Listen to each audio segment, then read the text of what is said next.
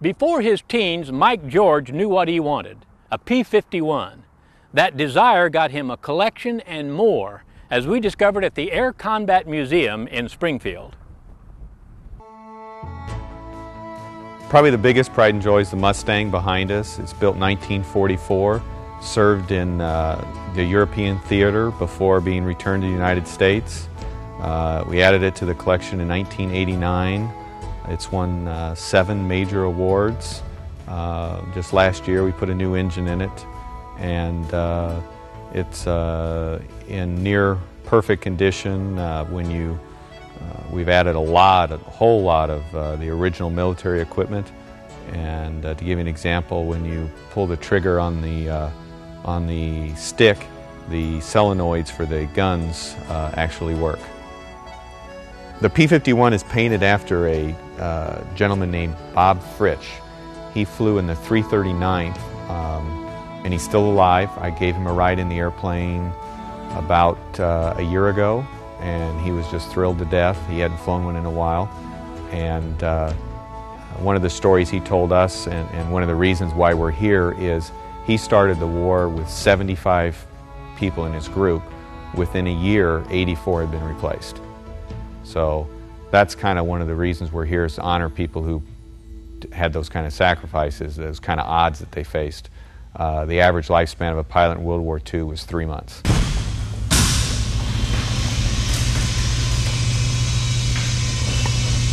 And the other airplane that is uh, up there on the list is the B-25. That's uh, the famous uh, Doolittle bomber. And uh, it just got back from a uh, commemoration event in California for the Doolittle raid. Everything here flies or will be flying. What we do is we buy an airplane that's been uh, damaged, generally, and we repair it, and then fly it and take it to air shows. Several of the airplanes have been damaged in landing accidents. Uh, matter of fact, most of them have been. And what we do is we, uh, once we repair one, we put the damaged propellers, which seem to get the most noticeable damage, on, hanging on the walls.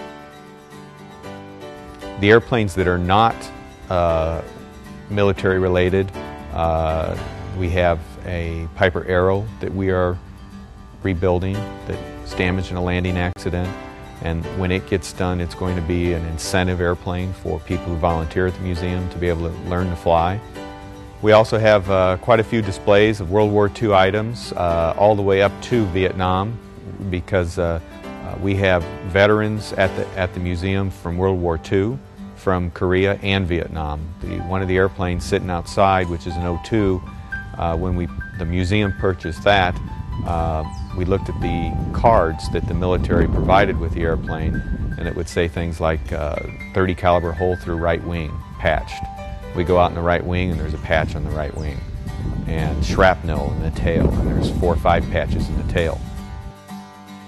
We also have the uh, uh, foreign jet. It's a Soko Galeb.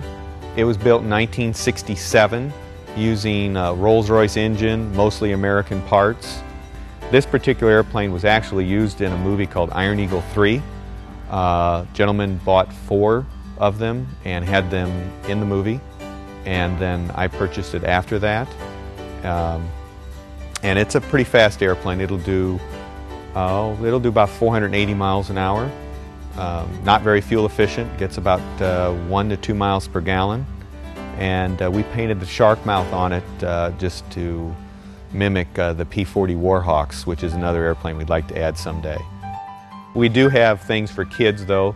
If you, one of our, our most popular thing that we have here is a, is a modified drone that uh, say kids two or three years old, up to five probably, can get in and the kids absolutely love it. They think they're in a real airplane.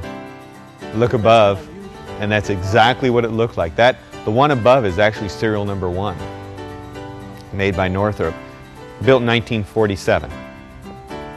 So it, there's, a, there's quite a bit of, of airplanes here from uh, different histories. And uh, our goal is to teach uh, aviation history to as many people as possible. And uh, there's a total of 14 airplanes here to do that with.